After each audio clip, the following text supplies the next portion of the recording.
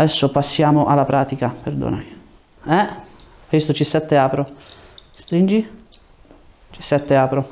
Quando stimolo qui la distribuzione di pelle innervata dal settimo nervo cervicale di destra, il muscolo non tiene, significa che abbiamo un problema con questo nervo qua, ok?